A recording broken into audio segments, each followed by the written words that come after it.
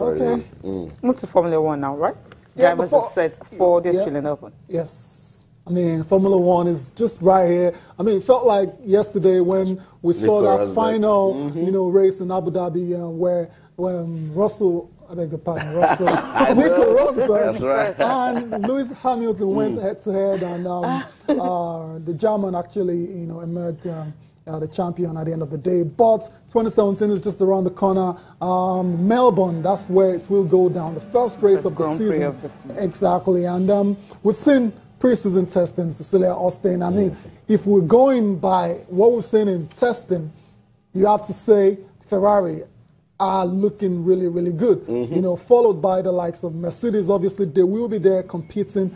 But the surprise uh, for me was Williams, Martini. I think they had a very solid uh, preseason. Uh, we saw the veteran, um, the retired and unretired. Uh, if you're going to help him with his name now. Felipe Massa. Yeah, Felipe Felipe Massa. Massa, he had a solid preseason as well too, and Red Bull. Let's let's not forget Red Bull as well. So it looks like we're in for one of the very most competitive. Competitive F1 season in a long time. I agree, and that's the problem with the word pre. Uh, March 26th, the pre will go off, and then the season will start. Okay. You know, and then the real guys will step up and start doing it. Ferrari, yes, every preseason time, Cecilia, they come out, they give us promise, make us want to look up to them. There's just something wrong about their strategy. There's something wrong about the pit stops that the engineers need to look at and say, look, we need to start getting it proper now. You know, um, for Red Bull, I think they had a disappointing season. They need to step up. Uh, Mercedes, for sure, we know they're still going to put up some good competition. Uh, Williams, we can only just talk about. Um, Felipe Massa going and coming back and all of that. But I think it's about time we start hearing more from the other guys. You know, uh, Daniel Ricciardo showed promise. Let's just hope that he'll be able to come back. I mean, Formula One is all about speed. It's all about upsets. Let's Yeah. see. Let's see. Max we still- Verstappen got us talking last Red season. Bull, yeah. Let's see. Let's see if he'll get us talking again. Yeah, Yeah, the but- picture you saw just now had to do with uh, Valtteri Bottas.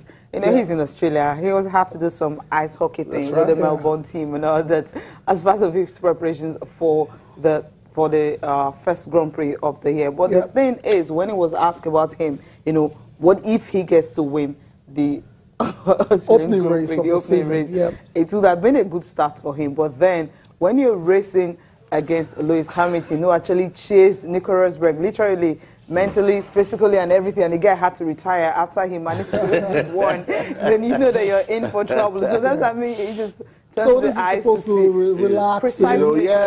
just fast It's forward and dangerous, Donny. everything. Very, It very, is. You know, ahead of a very. Yeah. Oh, nah. Yeah, it is. Well, I mean, But you know, this, these guys, um, they prepare in all sort of ways, In all Tayo, sorts of because they need that balance Yes. I psychologically, mentally, physically, you know. So any opportunity they have for you and I to talk about them, they're going to do it, you know. Sometimes it's just their own way of easing on the pressure.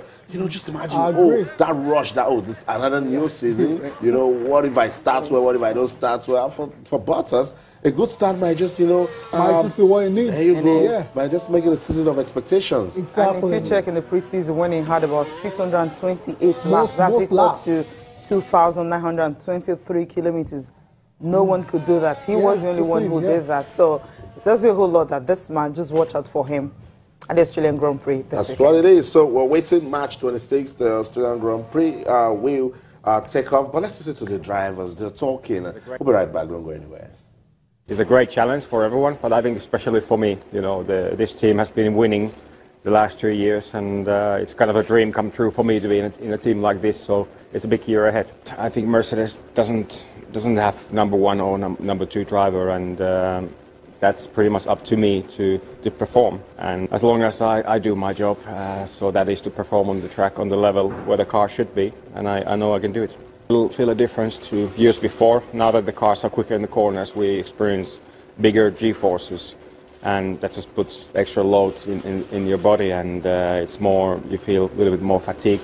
Obviously, the target with all the winter training is to not to feel anything, but always the first time, you know, after the winter you get in the car, you find uh, places can, can be a bit sore, but the body gets used to it, and um, I feel physically I'm, I'm ready for the year. But I, I think it's good for the Formula One that it's more the physical side of it becomes more and more important now. Well, that's that would be the, the perfect way to start a season and uh, my career with Mercedes. Uh, but um, I'm not thinking about it too much. Obviously, it's, it's the only thing I want, but uh, I always want to just focus on, on my job and work work as a team. And if we do, do our work perfectly, if I do my job perfectly, it's possible. But um, yeah, I, I, definitely the goal for me is to start the season in a good way, uh, get the results early on, and uh, continue from there.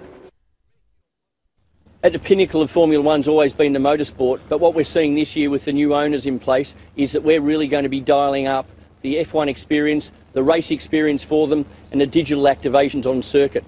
And one of the things we're seeing this year already is a great amount of support and the support for the future as well when it comes to things like our Melbourne Walk, Formula One fan forums, and really getting, you know, making personalities out of the drivers, even more so than ever before. So we're really excited to be working closely with the management of Formula One, and we can't wait to be hosting them for the opening round here in Melbourne. Lewis Hamilton, because he's British, probably. But then again, Daniel Ricciardo, he's from Perth, so we'll probably have a soft spot for him too in the Red Bull team. Oh, look, it'd be great to see uh, Daniel Ricciardo win. I think we'd all love that. But if Mercedes comes in second, I'd be just as happy. So that's it. They can't wait. We cannot wait to also talk about it. Let the action begin, and then we will do the reactions.